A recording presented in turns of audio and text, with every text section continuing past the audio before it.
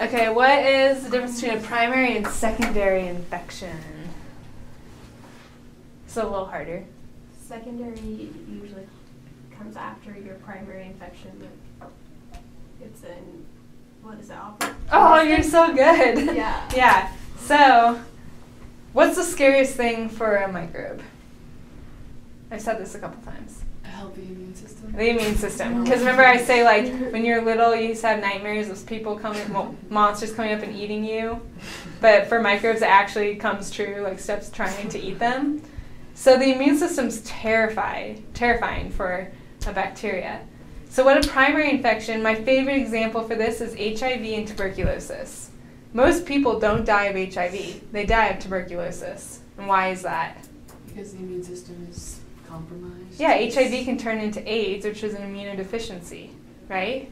And so tuberculosis is flowing by like, oh man, look at all these healthy people. And then it sees you and your immune system's just wiped out. It's like, sweet. And it goes in there, takes over like no other. You die of the tuberculosis which is a secondary infection or the opportunistic pathogen.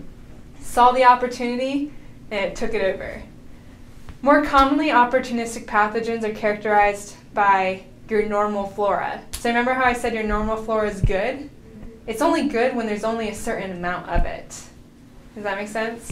So if I if my immune system's weakened and it's not taking care of some bacteria in my gut that we're only supposed to have this amount of, it can start growing out of control and then make you sick.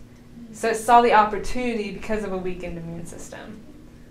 Is that okay? Yeah. That's crazy. So would um like C. diff be considered? I can't remember if that's a like, normal flora. Is it?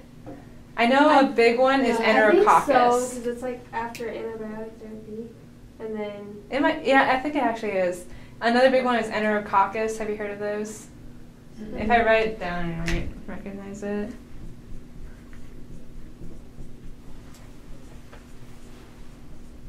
Does that look familiar at all? Enterococcus? Okay, that was a shot. So those are normal flora in your body. If you are prescribed antibiotics for too long, they can take over, and then you can get UTI infections. You can get like a whole list of things. But they're normal in your body, but when the body's immune system's weakened, it can take over. Or if you take too many antibiotics and kill off, like they could start like this, and they're, but they're good when there are only that many of them. And then once the other bacteria are dead, they're like, ooh, space, and then they become bad. Is that okay? Mm-hmm.